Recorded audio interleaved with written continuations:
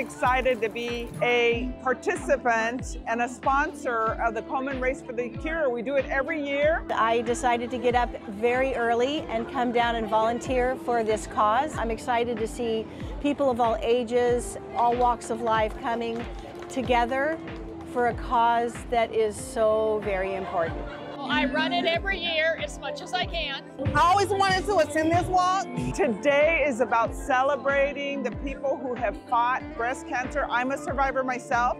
So these events are very special and personal for me, and I encourage people to come out and support breast cancer survivors, folks who are fighting the good fight today, and honestly celebrating people who have lost their lives to breast cancer. So today I decided to volunteer for my grandma. She was diagnosed in 2022, so we're just out supporting and just bringing light to the uh, to the cause. This year is just really special to me because my mom was diagnosed with breast cancer. I'm a 25 year survivor. We want to make sure that we spread the word so that people understand and so that they know that they can talk to us and you're looking like everybody that's here. That makes you more approachable and that way you're able to get information.